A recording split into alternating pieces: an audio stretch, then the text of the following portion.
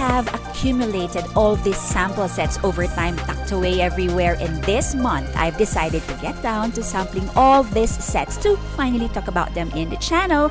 It is gifting season after all these sets would make for good perfume gifts for the coming holidays. Plus, this might help you put together your own perfume wish list. Hi guys, welcome back to my channel. If it's your first time here, welcome. My name is Jane and this channel is all about fragrances. Thank you for dropping by and thank you for your interest in my channel. If you have been following this series, we are currently on the third one and I chose to make this video because of a viewer subscriber who asked about the brand. Today's sample sets are from Vilhelm Parfumerie. I have a previous video on two of their perfumes, Moon Carnival and Mango Skin. If you're interested to catch it and other sample set reviews, I will leave the links down in the description box below. And if you haven't seen the last featured sample set, it was on celebrity perfume brand Sarah Jessica Parker Fragrances. I hope you can catch it. You can also find the link in the description down below. Vilhelm Perfumery is a niche fragrance house based in New York and owned by Jan Ahlgren. The brand boasts of 31 fragrances to date and I have 9 of them here, 11 actually if you count Mango Skin and Moon Carnival included in the sets. Their discovery kits come in threes and if I remember correctly, I purchased this back in January or February of 2022 during a sale, was it? They have pre-selected kits as well as a custom kit for you to choose from. One set goes for 18 euros. That's about 1,100 pesos using our current exchange rate. If you ask me, it's an okay price for a niche brand. I mean, Fragrance du Bois samples still are the priciest that I know of. I'm sure you're all excited to hear about these perfumes, and so without further ado, let's jump right in. The first trio has Dear Polly, Modest Mimosa, and Purple Fig. I'm not sure if this was how they originally came. Pretty sure I've mixed and moved perfumes around and or got the custom sets instead of the pre-selected ones. Dear Polly, this one has a story behind the creation of this perfume. This was said to be a love letter in sent to Mr. Ahlgren's wife for when they are apart. Notes include bergamot and apple, black tea, oak moss, black amber, and musk. And these notes were carefully selected to convey Mr. Ahlgren's scent association to depict his fondest memories of his wife. I was truthfully expecting leather to be in the notes list.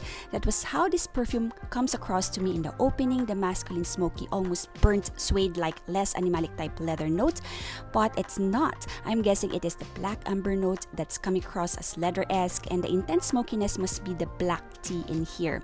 The smoky leathery segment dies down as this perfume dries down and smells more and more like sweetened black tea flavored with some warm spices and hints of fruits. This part of the perfume reminds me a lot of Thé Noir by Le Labo. Some say this smell like Nest Indigo, the tea portion, yes, but this is a lot darker and denser, more cool weather perfume, less airy fresh than Indigo, which you can wear on a warmer day. Compared to Indigo, this also smells more luxurious and upscale. Dear Polly is very unisex to me, while Thé Noir and Indigo lean feminine. This to me is a cool weather perfume. Have you ever smelled fresh ripe star fruit? This is how Modest Mimosa smells like to me by scent association. I asked my brother to smell this and he said it absolutely smells like star fruit to him. Well, we grew up eating star fruit a lot. We had it three back home. This smells green and tart but juicy sweet at the same time. This becomes increasingly powdery as the perfume develops. This has notes of neroli, carrot, mimosa, violet, musk, and leather. Oddly though, I do not smell the tiniest hint of leather in this perfume. After the blast of green vegetal notes in the opening. This is rather soft and gentle and fluffy, fresh, powdery as this dries down. This will be lovely for warm days in late spring to early summer in my honest opinion. I personally am not a fan of this perfume but I believe this is an acquired taste kind of perfume, divisive and polarizing in my honest opinion. This lean feminine to my nose. Purple Fig, as you can see from the amount of sample left in this vial, I've worn this perfume more than the others. Well, this is a fresh perfume so it was easy to spray more. I'm not a big fan of fig in perfumery. Philosykos by Diptyque, for example, does not particularly appeal to me despite the fact that it's a fig-centric perfume. But purple fig isn't a simple fig to me. I suspect it must be the Angelica note in here that draws me in. I love the Angelica note and for some some weird reason, this smells super good on my skin. FYI, Guerlain's Angelique Noir is an absolute favorite of mine. Together with Angelica, this is cassis and lemon on top, galbanum and cyclamen in the heart, and cypress and cedar in the base. I wish this stayed longer on my skin because at the 4 hour mark, except for my hair, smelling a little like this perfume, this is so gone. This lean feminine to my nose, and yes, another polarizing perfume to be honest, so please sample first on your skin. Moving on to the next set of threes, this one has Stockholm 1978, Basilico and Fellini, and London Funk. This set contains the more masculine leaning scents, so my husband helped me try them on. First up, Stockholm 1978. He says it's an everyday, easygoing, no-brainer, sort of generic type perfume, great for after shower and for when you need to spray something on to refresh. For me, there's something fresh and warm in here at the same time. I suspect it's the marriage of lemon to almond and black pepper that's giving me this vibe.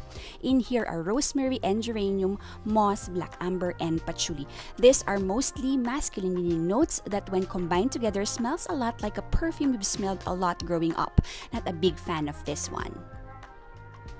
For Basilico and Fellini, this was not the first time my husband smelled this perfume. We sampled this together last year, but he was more impressed with Morning Chess than this one. In this trio, though, this is his favorite. Look at how much is left of this sample. His description of this perfume was, This smells like the male counterpart of one of my Hermes garden perfume that smells a lot like grass. Pretty sure he was talking about Un Jardin sur la Toile. You'd see this perfume pop up in a handful of my videos. He smells it a lot around here because I wear it a lot. And yes, he is super right. I couldn't have put it any better. This has notes of basil, pitahaya, fig, violet, green grass, hay, and vetiver. My husband also wished this lasted longer. He wore this to work during the day tropical climate. London funk smells funky to me. I'm not quite sure how else to put it. My husband's description an unidentified overripe fruit, not yet spoiled, but starting to smell like it already. Please bear in mind that we sample in tropical climates, so this might smell very different in another climate or season. This perfume has juniper berries, basil, cardamom, bergamot, blackcurrant, driftwood, vetiver, yerba mate, ambergris, and sandalwood. Again, not a fan of this one. For this trio, please sample first. This last set includes room service, Peony Couture, and Poets of Berlin. Room Service smells to me like a 1990s female antiperspirant deodorant roll-on, those that come in glass bottles then. This has that kind of powdery freshness smell. It's not unpleasant. I just thought it's not too perfumey. This smells more like a body care product than an actual perfume. This has an old school type powdery smell to it that I'm not a big fan of. But I'm not a big fan of powdery in general. So, I read somewhere that Victoria Beckham adores this perfume and calls it super chic. This is notes of blackberry, mandarin orange, orchid, violet, bamboo, musk, black amber, and sandalwood. This is a polarizing perfume and very much niche. Some say this smells a lot like Chloe EDP, an all-time favorite of mine. Nope, I disagree 100%. Peony Couture does smell more like a Chloe Eau de Parfum to my nose more than room service does. This is, as the name implies, Chloe EDP's Couture version. In the opening, you'd smell a lot of roses and then this dries down to a softer, lighter peony scent.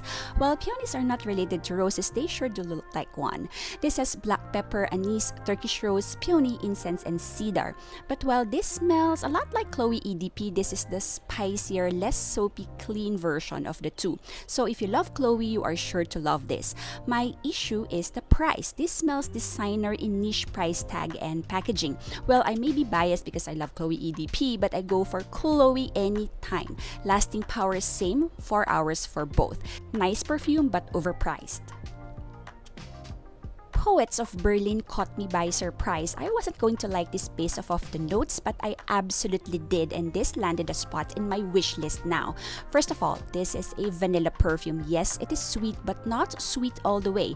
It's a little fruity and green and almost dark and bitter, yet fresh enough for me to wear on an October day here in the Philippines. The perfume that reminds me of this the most is the now discontinued Decadence by Marc Jacobs. This is not an exact dupe, but gives me almost the same aura. I remember using the term camphoric to describe decadence in one of my videos. And while this isn't nearly as camphoric, this gives you the same mysterious vibe, love it or hate it type scent. I'm not sure if I'm making sense, but I absolutely love this. Notes include blueberry and lemon, bamboo and orris, vanilla, sandalwood, and vetiver. This is very wearable in burn months, climate, day and night, spray less during the day. So for you guys in search of a dupe or a close enough dupe of Decadence by Marc Jacobs, give this one a try. You just might like it. This lasted all day on me and definitely feminine leaning. Mango Skin and Moon Carnival have been in some of my videos so I will not go through them anymore. Instead, I will link the videos where I talk about them down in the description. Vilhelm Perfumery fragrances are available locally at Art of Scent in-store and online. The 20ml bottle retails for 5,280 pesos, the 50ml goes for 10,500, and the 100ml goes for 13,860 pesos. These bottles go on sale during the Black Friday Cyber Monday weekend. You can opt to buy then to save a little cash. Art of Scent do not have these little sample sets unfortunately. For Vilhelm perfumes, I urge you all to sample first. These are definitely all very nichey, some are polarizing, and some are taste specific. And although all these are marketed as unisex, some do lean femme or masculine plus. These are a pricey lot to blind buy. You can always visit Art of Scent to take a whiff of this. They all have the available ones out on display and for sampling. Moon Carnival and Mango Skin aside, my favorite from these sets are Poets of Berlin and Purple Fig. These were unexpected picks for me, to be honest. My husband likes Basilico and Fellini. So that is it for today, you guys. I hope you enjoyed this one. Let me know your favorite from Vilhelm if you have one and why. Special thanks to my husband and my brother for helping me sample this. Thank you all for making it this far. Another sample set will be coming your way soon, so please watch out for the next one. By the way, I will be giving one of these unused sets away in December as my Thanksgiving gift to you all for helping me make it to 6K. Mechanics will be posted soon. And before you leave this video, please make sure to give me a big thumbs up, share this video to anyone who might be interested, and please subscribe to the channel if you haven't yet, and click, more importantly, click the bell to be notified of future videos and giveaways. Take care you all, smell your absolute best, and see you in the next one. Bye!